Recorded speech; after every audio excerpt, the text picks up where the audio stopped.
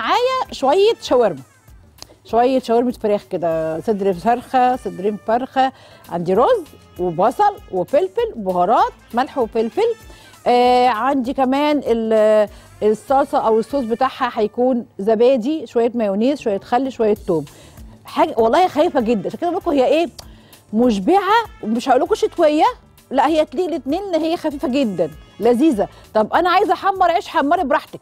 حمري عيش في زي ما بنعمله كده لل للفتة بس يكون عيش شامي عشان ده اللي هيليق معاه. أنا النهارده عاملاه من غير عيش عشان تبقى أخف أخف. حاجة diet بقى عشان الواحد بقاله كتير كده مش diet diet يعني بس حاجة خفيف. مش ما تقولش هو ده ال diet لا مش diet عشان عارفين زيت هيتحط وفيه حاجات. آه هنحط بكميات قليلة بس إيه اللي تعتبر يعني خفيفة. بسم الله الرحمن الرحيم. نقول بسم الله. هنحط شوية زيت. وهناخد بقى إيه الأول؟ نعمل شوية الرز الأول وأنا بسخن الطاسة أهو عشان الايه علشان ال- الفراخ نعملها. هنحط لها بس هنا شوية خل كده. معلقتين خل. بتدي بتفرق يا جماعة المعلقة سحر. والله بجد بتخليها ما فيهاش أي زفارة بتخليها حلوة جدا.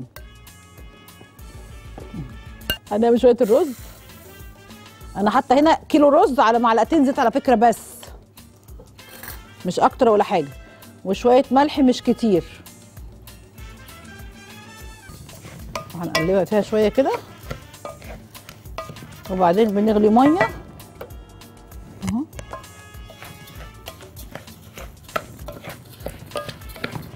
نيجي بقى للإيه؟ للفراخ. هناخد برضو معلقتين زيت. هنزل هنا كده. الفراخ دي أكلة سريعة جميلة.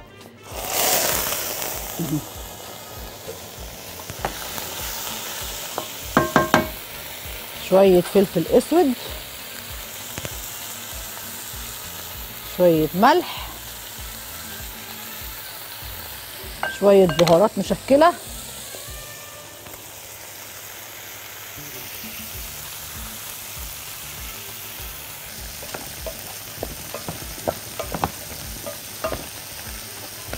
ان أنا سايبه الرز يتحمر. لو انت عايز تعمليه ابيض عادي مش تسيبه يتحمر كده. هي تقلبتين وبحطها عليها بس.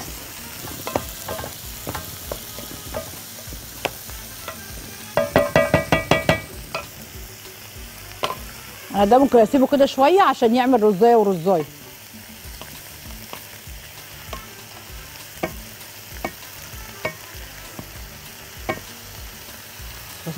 اما يلزق ما تفكهوش كحت. استني عليه شوية هتلاقيه فك لوحده اهو بفك لوحده إزاي اهو شوية شوية.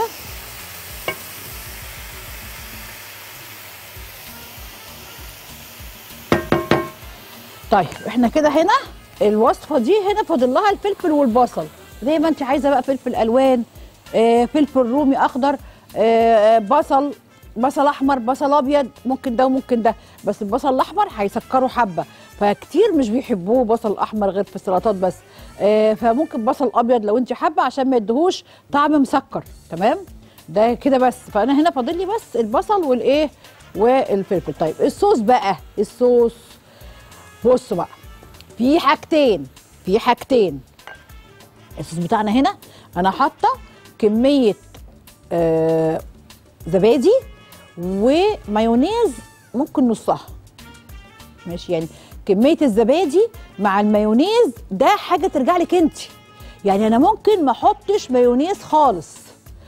تبقى سلطة الزبادي لو أنا عايزاها خفيفة بقى زي ما بتقولوا لل diet ومش ال diet والكلام ده. آه، هحط زبادي بس. هيبقى زبادي وخل وتوم. زبادي وخل وتوم وشوية مية صغيرين كده خفيفة بيها. طيب المايونيز طبعا بيديله طعم تاني خالص بيخليه غني جدا. فاحط بقى المايونيز ده على الزبادي بالكمية اللي تفضليها. يعني إيه؟ يعني لو أنا حاطة كوباية زبادي أنا ممكن أحط كوباية مايونيز. ممكن أحط نص كوباية مايونيز. ممكن أحط معلقتين مايونيز. ممكن معلقة مايونيز. اطعم بيها بس. فدي حاجة ترجع لك انت. يعني دي حاجة ترجع لك انت بتحبها شكلها إيه وعايزاها غنية قد إيه. تمام؟ يعني في لا هو زبادي بس عشان تبقى خفيفة خالص. وفي يقول لك لا أنا بحبها مايونيز كتير. في ما يحبش الزبادي أصلا. ويحطوا مايونيز بس.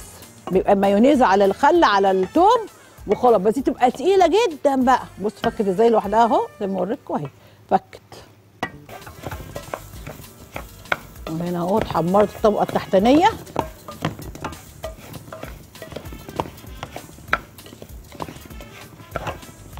حمرها كمان شوية.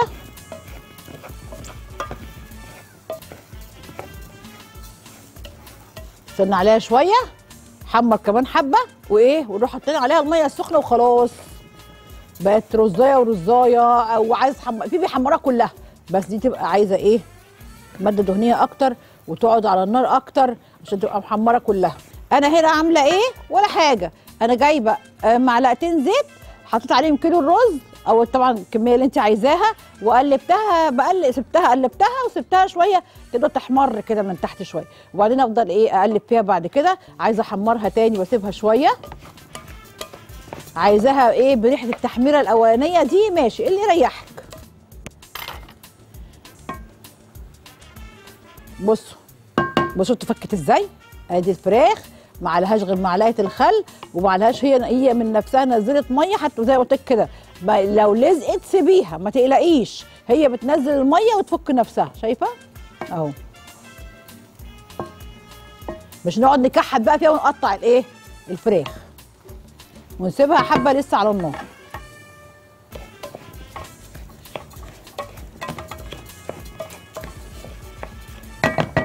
خليها شوية تحمر كمان.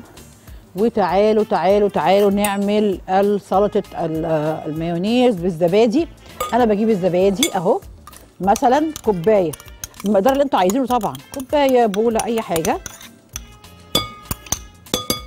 وعليها المايونيز بالكمية اللي تفضلوها. أنا هقول كده كفاية. معلقتين كفاية. وعليها معلقتين كبار من الخل ومعلقة من الثوم وشوية ملح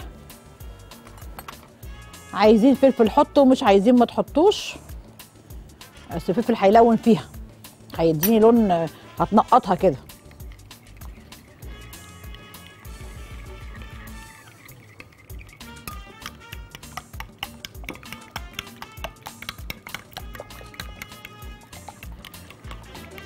ممكن نخفها سنة حبة مية. صغيرين كده. بس ده الصوص اللي عليها ده صوص الفته بتاعتنا اللي هنعملها النهارده. صوص الشاورما. ممكن تعصري عليها ليمون كمان بتبقى حلوة. ليمونة. الليمون عليها تبقى جميلة. اهو كده حلو. كده كفاية. حمرت حلو اهو. حط بقى المية.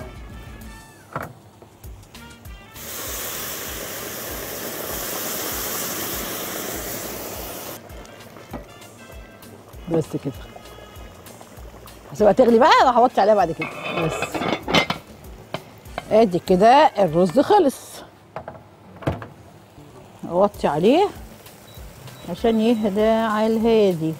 تمام؟ وادي اهو. الفراخ طبعا ما بتاخدش وقت خالص. هنزل عليها البصلاية بقى. وهنزل عليها الفلفل.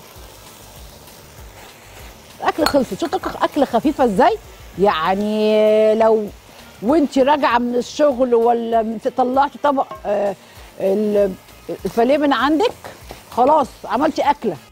الرز بالشاورما اللي أنا عملته رزه ورزة آه، حمرته من حبة كده كنت بسيبه شوية وأرجع أقلبه تاني وأسيبه شوية وأرجع أقلبه تاني فكان بياخد تحميرات فبيديكي طعم تاني غير الرز الأبيض خالص.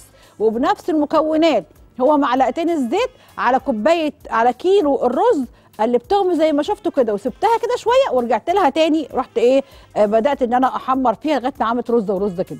وأدي الشاورما اللي عملتها.